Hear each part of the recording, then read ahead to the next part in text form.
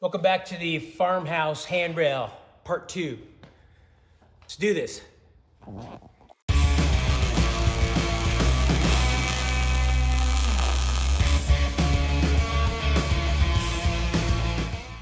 right, another day. I finished all the tops for the posts. Uh, they're all good to go. So one just sitting up on top of this. I left a little slack. I showed you earlier I put a little piece of 14 gauge just for powder coat. You have to think about that stuff when you're doing finishes. So to kind of go complement this, I'm putting this around the bottom here. Uh, just gonna, you know, not put any weld on here. I'm gonna weld it from the bottom. So I have to chamfer this edge so that it can be welded in place. After this is on, uh, oh, so one more thing I wanna do on one of these is uh, the handrail is gonna die into one of these posts on the corner. So I need to put a piece of material behind here to, um, to bolt to. So what I'll do is I'll drill a couple holes. I'll clean up the backside where the burrs are in the, from the drill bit. I'll slide a piece of material in there that's long enough, big enough, close to the right spot that I need. Uh, I plug weld the front and I grind it smooth. That way you have that extra material on the backside of this tube. This is 120 wall.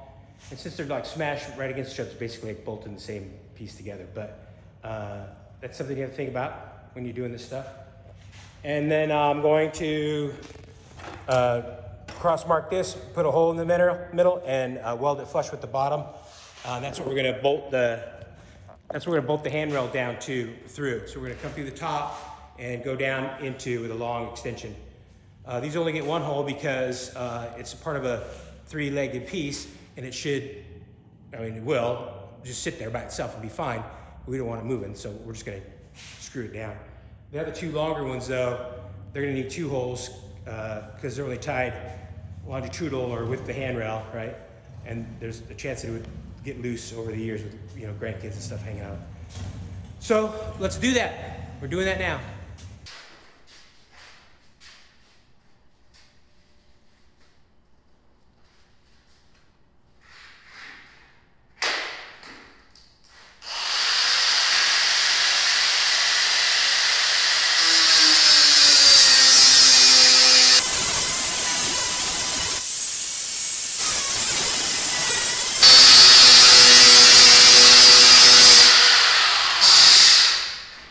grinding a little bevel on the bottom, on the other side here, so that once I get this all tacked up and welded, I can weld uh, on the bottom. So it has to be ground flat so it can sit flat. So that's what I'm doing there. Tack this together. Um, this piece isn't cut perfectly straight on the bottom, flat on the bottom. So I clamped it here and I leveled it up. I leveled it, I figured out the level of the table first because the table's not level. I should put adjustable feet on it. Um, so I just made it match the table. So it's actually not, the tube isn't touching it. Uh, the, it's these two pieces here that are keeping it straight up and down. When I tack it all on, it should stay and then I'll flip it around and weld it and do all that.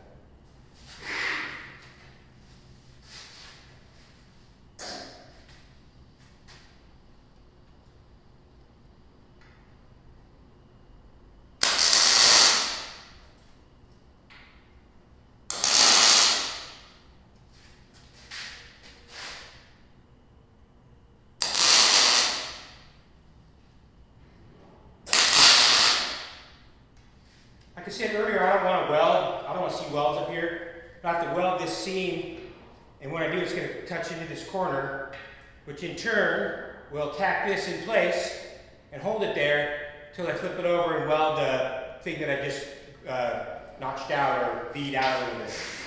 So that'll help. And then I'll come back and clean it up so you can't see any weld there.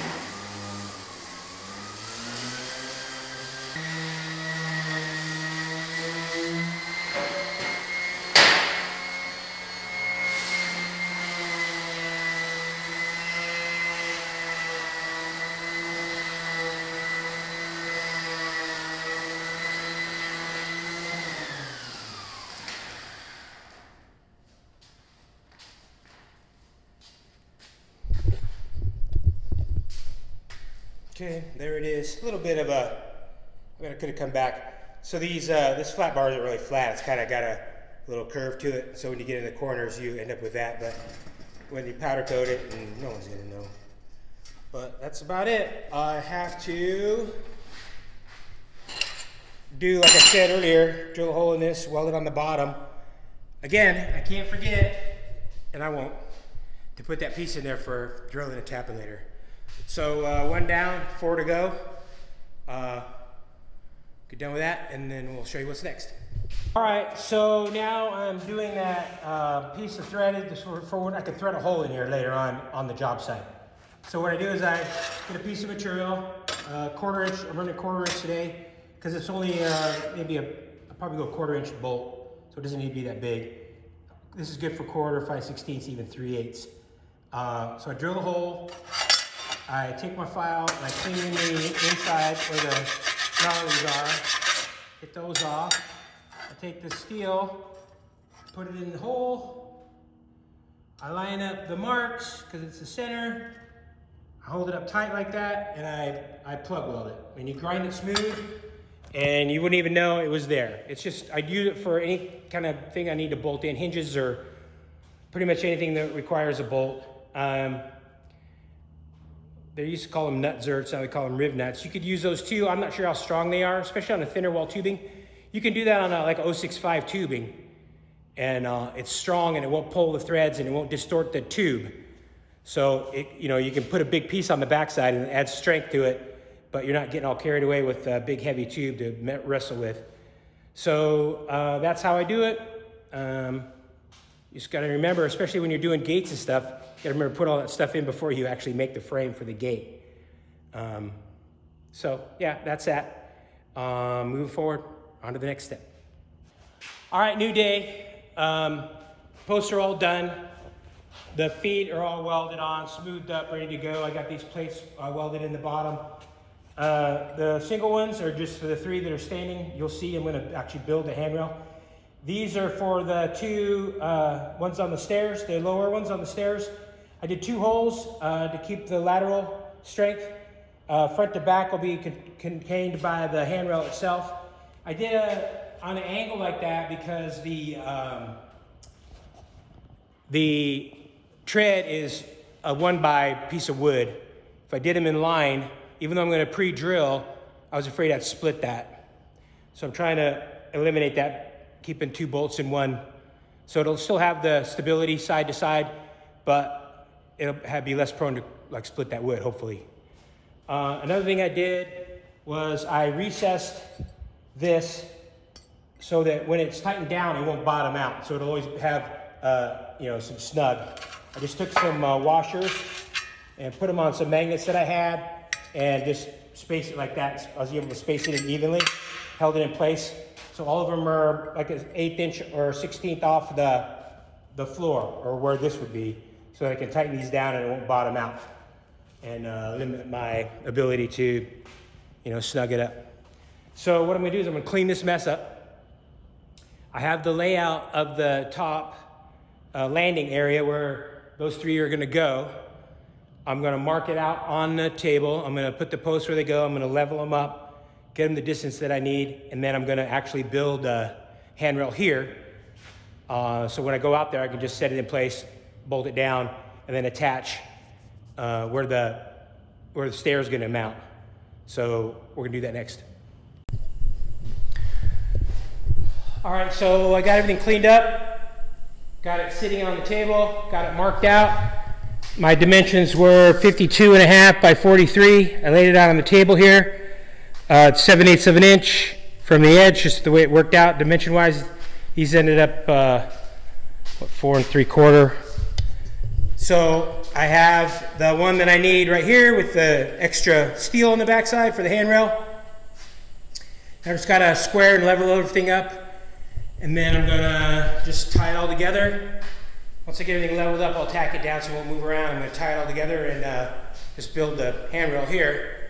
Then when I go out, it'll just be getting up the stairs, there's plenty of room, and just set it in place, bolt it down, then I can build the rest of the handrail on site.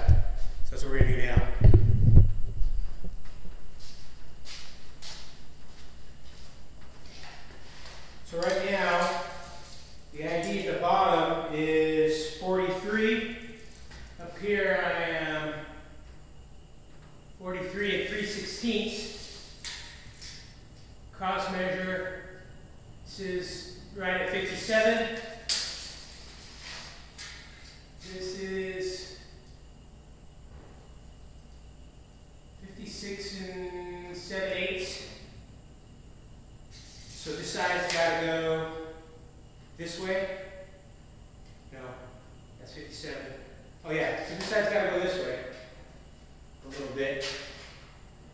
prop this up with a little screwdriver.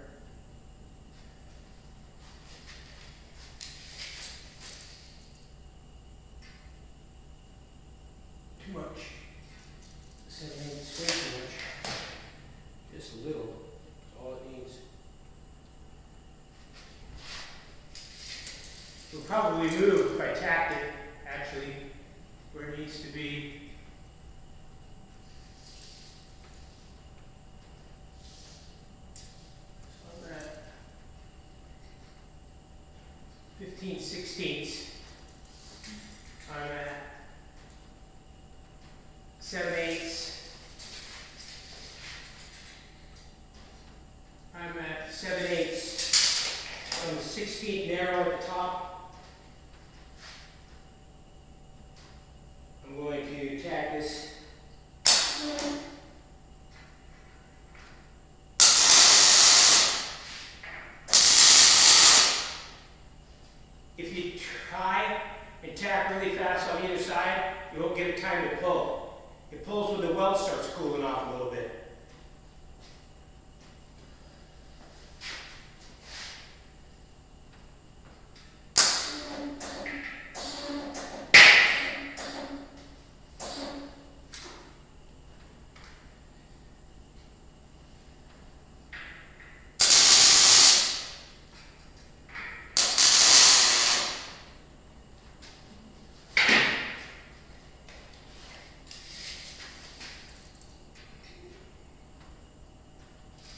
Dead nuts, 43. So that's good. This is 15 sixteenths. 56 and 15 sixteenths. This is, damn, dead nuts, baby. That's perfect.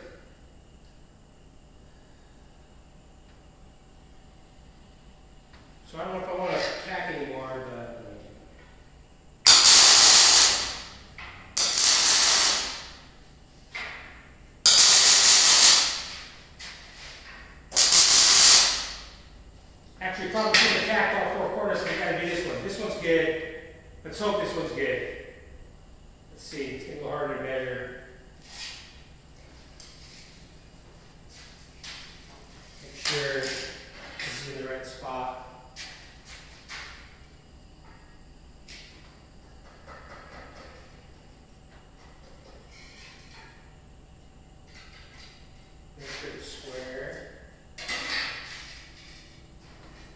し。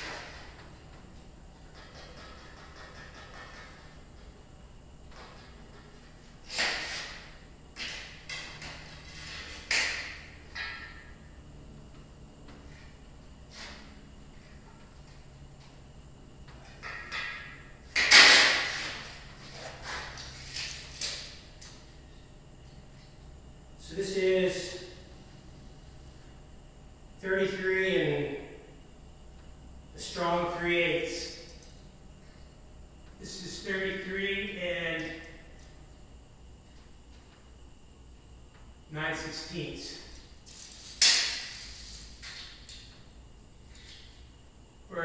50th order.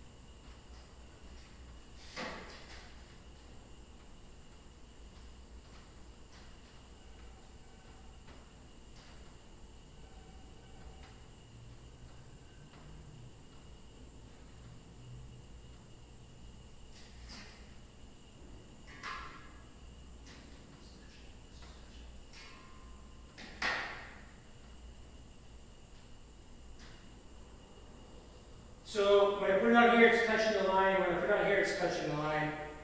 So I'm okay with it this way. I just gotta get it this way. So it's the same thing here, I think. Yeah. So this table is kind of going downhill a little bit. But as long as everything's squared up, and I don't know if the floor's squared up there, but I mean, it's sitting on here, it's not gonna be an issue. I'm, I'm over, I'm overdoing it a little bit here.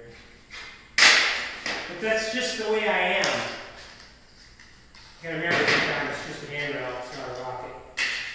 Although, you know, you do good work. You do good work.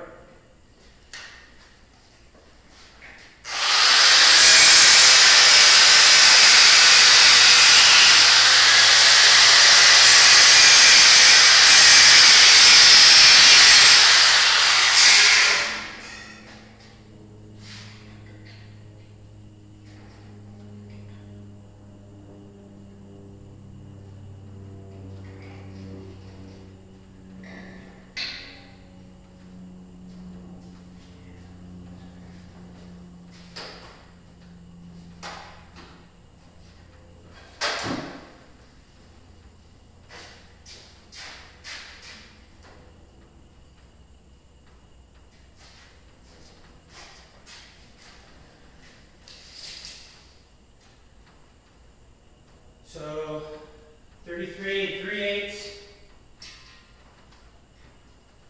33 and an eighth. Too much. Uh, hold on, check square, see which one's worse. So you get the width, and now you know we're off. So which one has to move though? So this is 50 and an eighth. This is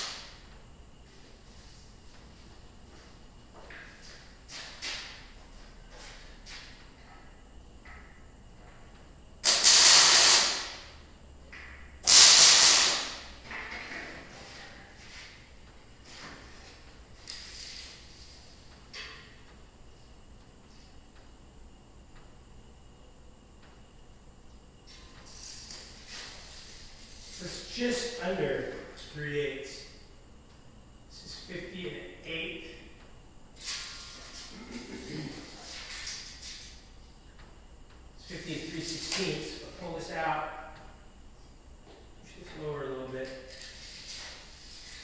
We're at Fifty-three sixteenths.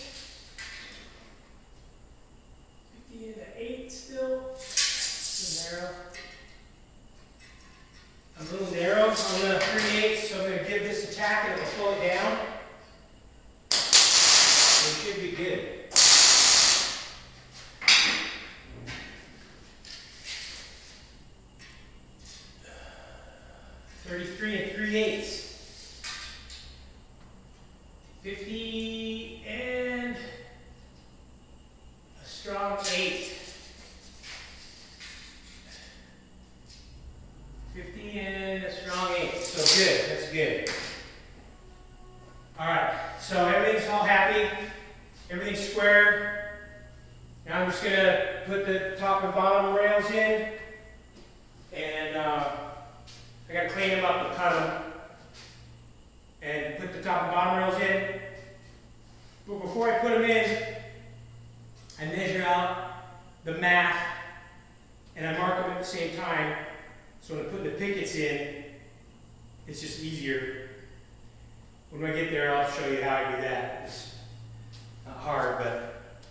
I'm not real good at math, so I dick around and I get close and I figure out, you know, the center.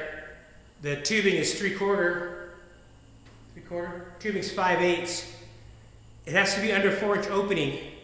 So if you get your number anywhere, you know, close to four, you can be like right around four, one way or the other, and you'll be okay. We'll, I'll show you that later.